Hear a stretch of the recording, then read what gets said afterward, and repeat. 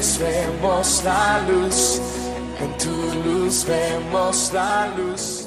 Queridos hermanos, que Dios les bendiga en este día. Queremos invitarlos a ser parte de todo el ejército de salvación alrededor del mundo en este fin de semana de movilización y oración por las víctimas de la trata de personas. ¿Cómo lo vamos a hacer?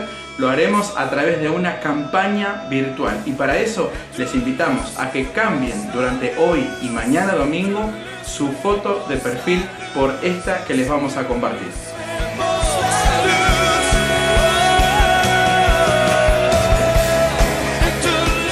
No te quedes afuera. Sé luz.